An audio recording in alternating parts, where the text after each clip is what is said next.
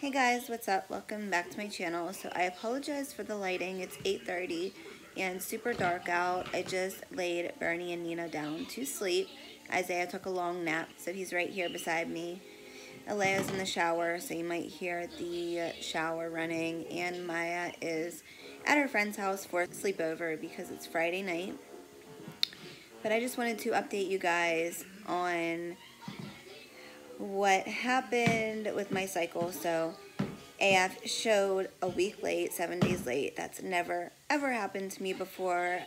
It was a complete shock. I definitely thought I was pregnant, even though the pregnancy test had turned negative after I had a positive. So, and I apologize if the TV's loud. Bubble Guppies are still on from when Bernie and Nina were hanging out with me in bed after their bath and I just haven't changed it. Hashtag mom life. But AF was seven days late. That's never happened to me before. I had gotten a positive pregnancy test, then negative. So what I believe had happened was a chemical pregnancy had thrown my cycle off and made it a week late.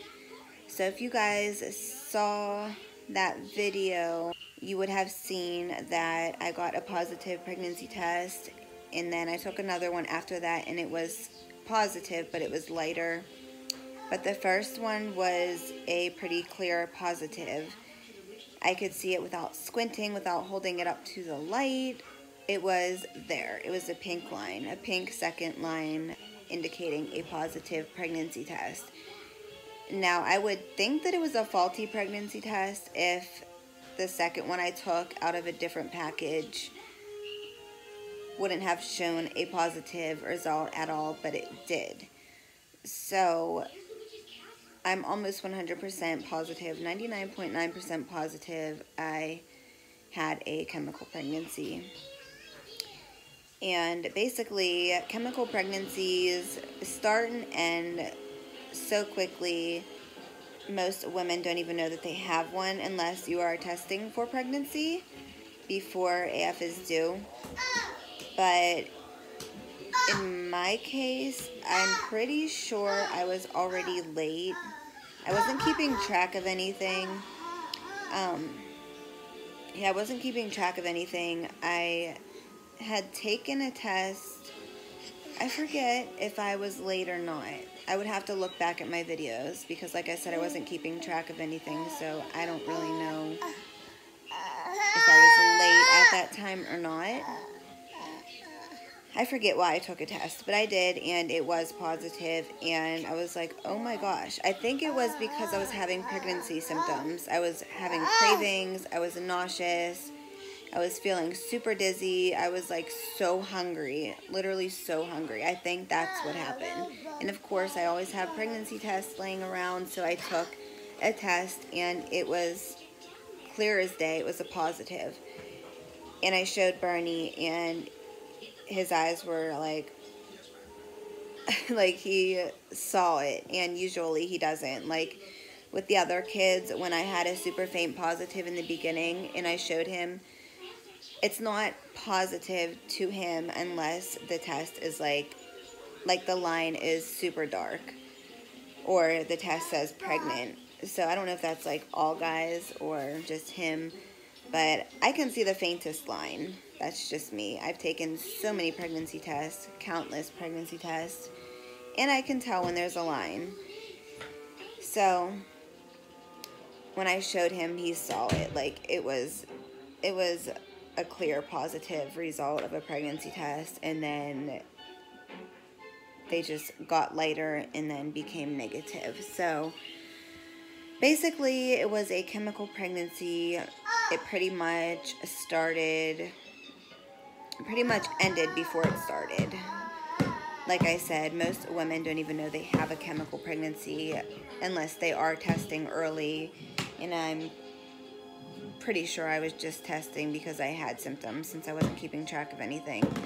But then I was testing like crazy after that because AF was seven days late. And the most it's been late is like a day ever in my whole life. Being a week late, that was just crazy. Like, that's never happened before.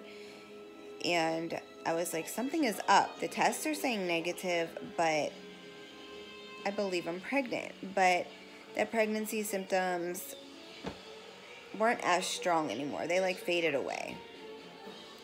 So I was like, something's going on. Either the tests aren't showing that I'm pregnant, and I am, or I had a chemical pregnancy and it's just throwing my cycle off. So I truly believe that's what happened since I did get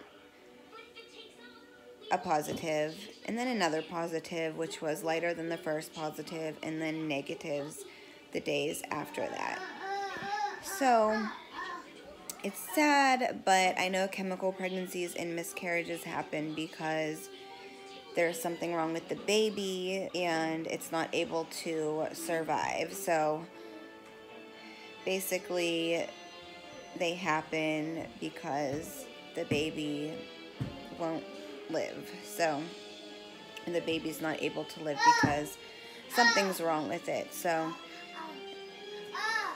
it's sad. Like I said, I was thinking of like pregnancy announcements for Halloween and Thanksgiving, and I was just getting excited. And then it ended. I was really upset at first, but like I said, I know why they happen. And I wouldn't want to, I wouldn't want something wrong. I wouldn't want there to be something wrong with the baby that I'm carrying. Because that's just really sad. I couldn't even imagine. But I just wanted to give you guys an update. And I'm really sorry about the lighting.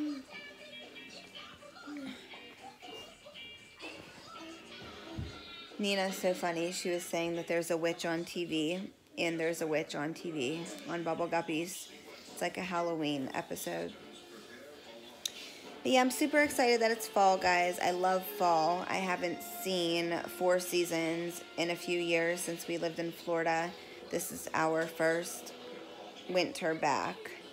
So we came back like at the end of spring, well, around Easter time. So springtime.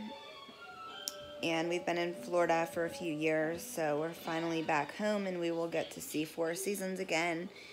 We will see snow. I never thought I wanted to see snow again, but being in Florida made me so homesick. I realized that I really do enjoy the four seasons and snow on Christmas and around the holidays. I enjoy the colder weather which I never thought I did until we lived in Florida.